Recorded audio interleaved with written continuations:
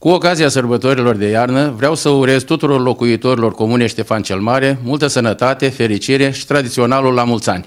Să le dea Dumnezeu sănătate la toți!